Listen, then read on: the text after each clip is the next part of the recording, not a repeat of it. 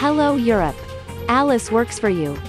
For residents of Europe, Crypto.com launched the function of direct replenishment of an MCO Visa card instantly with credit debit cards with no fees. According to an official press release, also, cardholders can fund their MCO Visa cards via SEPA bank transfer, in addition to topping up from Crypto Wallet, BTC, ETH, LTC and XRP. Big profit to all.